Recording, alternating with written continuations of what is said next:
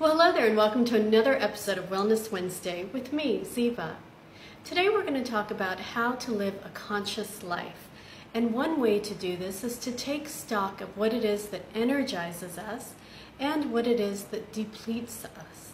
They say that we have about 60,000 to 80,000 thoughts per day, and 90% of those thoughts that we have today are the same exact ones that we had yesterday.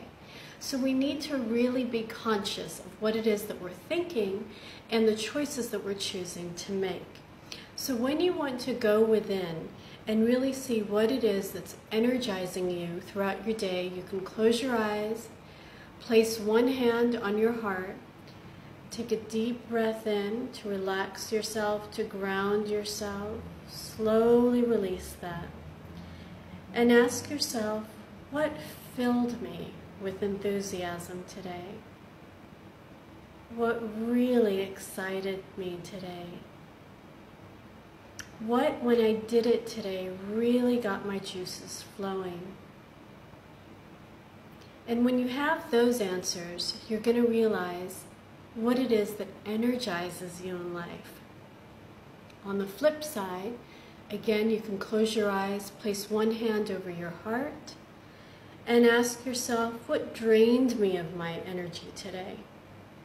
What really zapped me of my ojas or my sweet, vital nectar, my life force energy?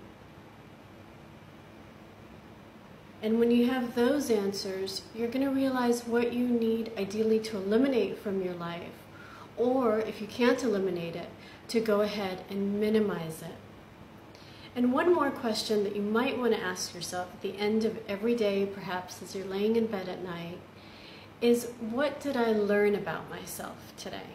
And sometimes when we answer these two questions of what energized me and what drained me, we're able to see what it is that is our soul's calling. And what is it that our soul wants us to go forth and put out in the world in order to help others and to connect with others.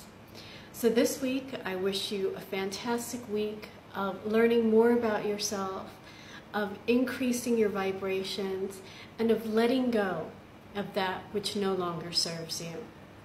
Join me next Wednesday for another episode of Wellness Wednesday.